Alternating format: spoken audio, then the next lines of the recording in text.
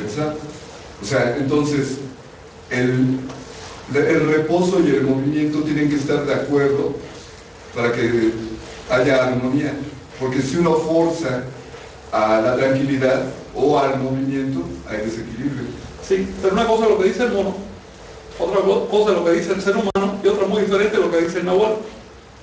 Para el mono el equilibrio entre reposo y movimiento es mucho reposo y el menos, menos movimiento posible. ¿Ves? El nahual por el contrario tiene la teoría de que hay que moverse y rápido porque no tenemos tiempo. Entonces, como seres humanos puede que lleguemos a un equilibrio entre el mono y el nahual, nos tomemos un tiempo para descansar, pero sabiendo que no tenemos tiempo. Recuerda que estamos en caída libre de que nacimos hacia la muerte. Caída libre a la muerte. No hay nada alrededor nuestro de lo que agarramos. Entonces, si estás en caída libre de la muerte, tienes una de dos, resignarte, bajar la cabeza, quizás irte a una montaña, ser feliz, a contar los demás, o hacerle frente a ese hecho. Si le hace frente a ese hecho, hay resultados sorprendentes, es lo más que se puede decir, porque las promesas no caben ahí. ¿Alguna cuestión? bueno.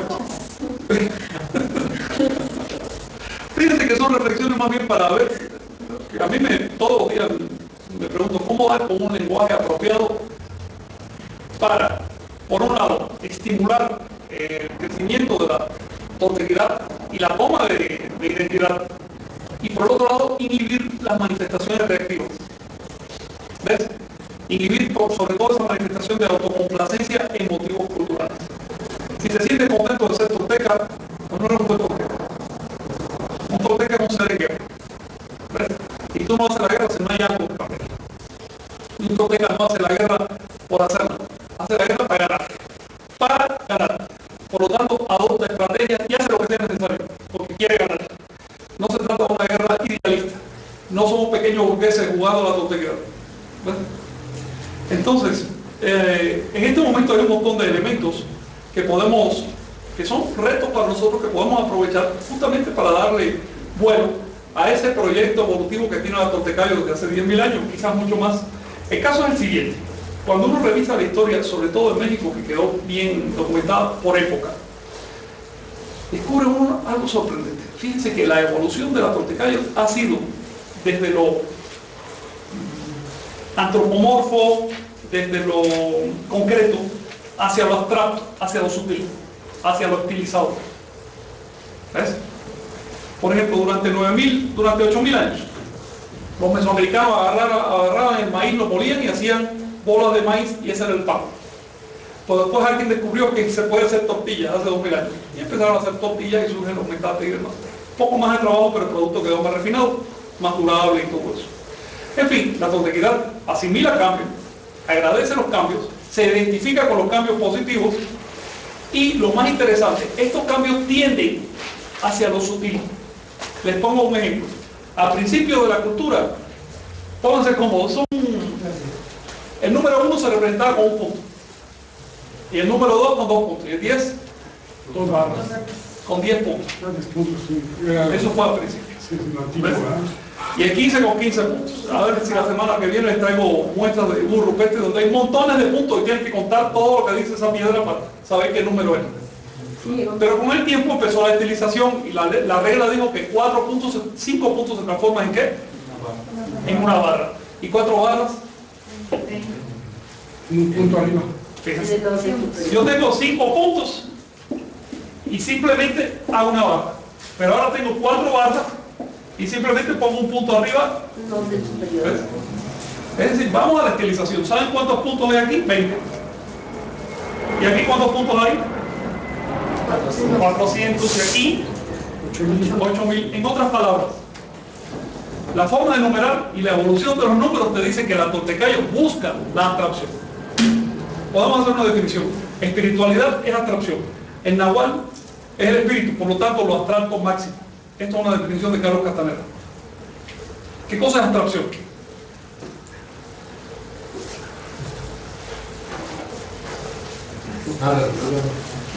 Es una reducción conservando el significado. ¿Ves? Eh, aquí yo estoy conservando el significado de 8000 puntos, pero si me pusiera a dibujar 8000 puntos, probablemente ni me saldrían 8000, estaría mucho rato y difícil que alguien nos. ¿ven? Es decir, si estamos reduciendo, estamos eliminando elementos sobrantes, estamos encontrando un lenguaje superior para decir las mismas cosas. Un lenguaje superior. Por ejemplo, cuando la Tontecayo creó ese diseño abstracto maxi que se llama serpiente emplumada, hombre, le pasó por arriba un montón de detalles. Es posible que cada aldea en, una época tuviera su propia deidad, su propio rinconcito para tener ahí un idolito y llevarle las ofrendas, como pasa en todas las aldeas primitivas de la tierra. Pero hace 5 o 6 mil años, alguien dijo, no, vamos a unir todo eso, porque finalmente estamos hablando de lo mismo, vamos a quitarle todos los nombres y poner solo un símbolo de abstracción suprema. Serpiente plumada. ¿Por qué serpiente plumada? Porque indica una aspiración, ¿no? A, Exacto. Es, es decir, no es ni la serpiente ni la pluma, es un movimiento entre dos. y hay- en todos los casos veo que se refleja un principio de economía. Sí, atraes y economizas. ¿ves? Por ejemplo, Es una trascendencia. Así es. Eh, eh, no sé, si fuéramos seres planos, en un, en un plano, para movernos de un punto a otro tendríamos que recorrer todo ese plano, pero como somos tridimensionales damos un salto.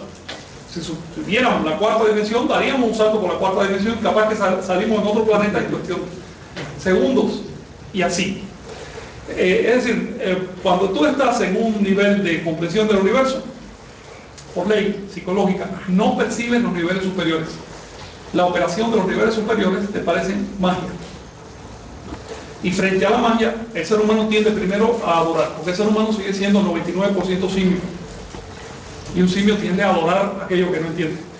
¿Eh? Eso tenemos que tenerlo en cuenta. Los indoamericanos eran 99% simios. No eran nada del otro mundo. Eran seres humanos comunes y corrientes. Y ahí está el mérito de la totalidad. Es un esfuerzo tremendo, muy serio, por dejar esa herencia animal, y lo dice hasta el Popol Vuh.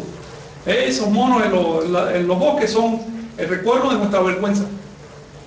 Tenemos que trascender esos monos. Es decir, ser conscientes de que tenemos algo que trascender es la mejor manera de trascenderlo, porque de otro modo no, no se logra. ¿Algún comentario? ¿Alguna observación? Pues bien, si se trata de abstraer, por supuesto que el siguiente paso en la evolución de la tontería después de la llegada de los españoles, ¿en qué consiste?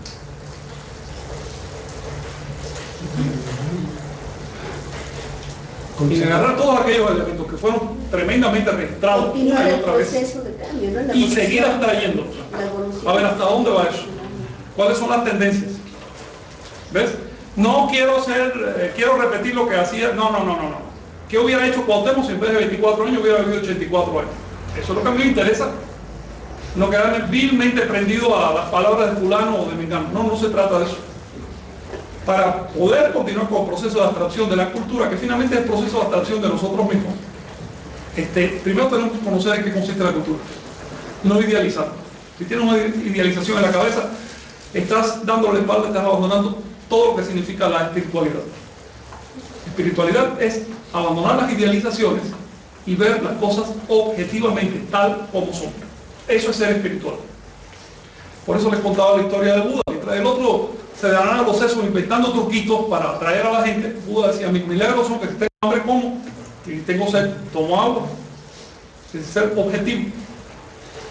Este, fíjense que en la, en la visión anahuaca, sobre todo ya hacia el final, o por lo menos en lo que quedó recogido en los textos mexicas, encontramos una propuesta religiosa extremadamente abstracta.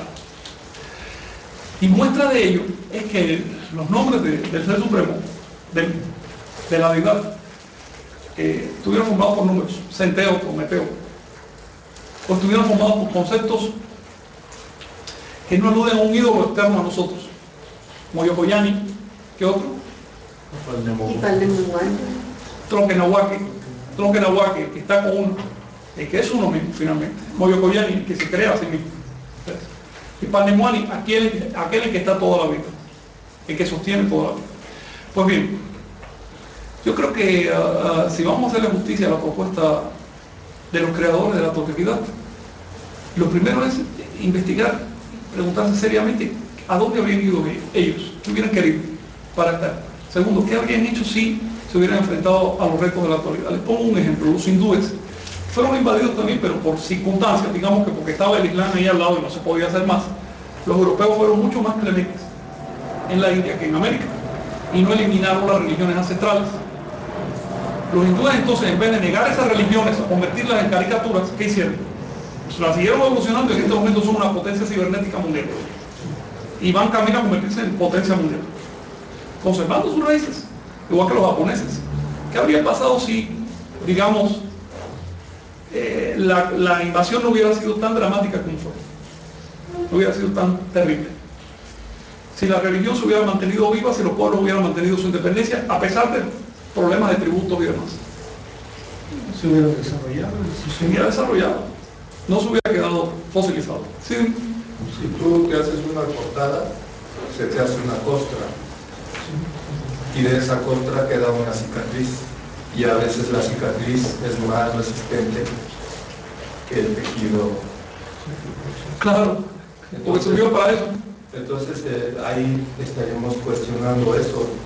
Y este, entonces en este momento de esa cicatriz, con el intelecto y los avances actuales, no estar pretendiendo retomar fórmulas que ya pasaron, sino aprovechar Claro. esos conceptos, pero esta vez los podemos exponenciar. La verdad es que, eh, bueno, en vez de pensar en un herido, vamos a pensar en un encuentro. En un encuentro quizás más de tipo sexual que, un herido. Eh, el encuentro entre España y, y México fue de tipo sexual. Y la prueba es que produjo toda una generación de gente, que ya no era ni de allá ni de acá. Y esa generación de gente, de gente ciertamente tiene una cierta resistencia genética que no tiene sus poblaciones de origen. Eso es un hecho biológico. Pero que está en inferioridad de condiciones psicológicas.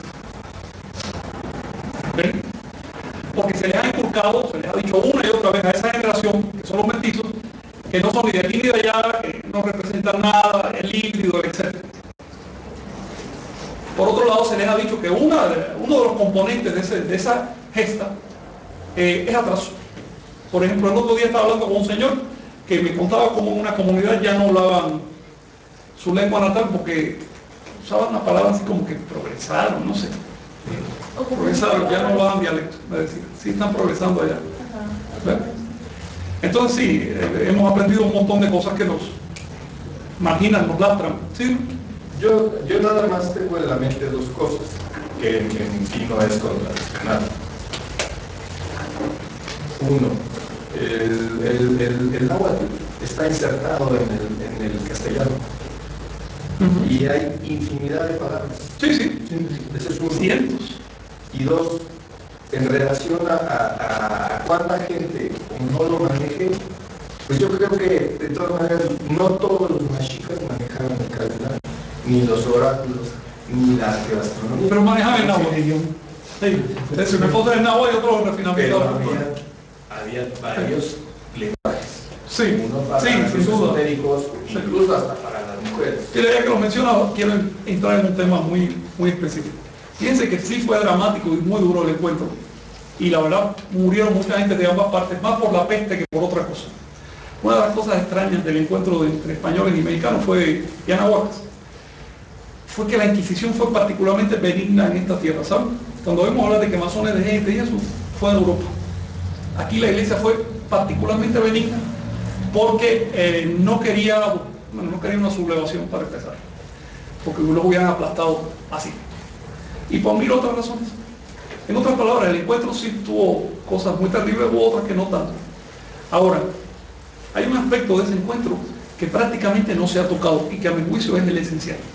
Fíjense, cuando, no sé, cuando llegó, por ejemplo, Cortés a Cholula y mató a los, a los sacerdotes que estaban ahí reunidos, ¿se acuerdan? Sí, eso fue en 1519. En octubre, si mal no me acuerdo, de 1519. ¿Recuerdan cómo fue la reacción de los mexicas? Contentos. ¿Ven? Y cuando después llegó a los tlaxcaltecas, y le digo, oye, vamos a atacar, ¿cuál fue la reacción de los tlaxcaltecas? Contentos. Y no, órale, por fin nos vamos a echar estos ¿Ven? En otras palabras, la conquista no fue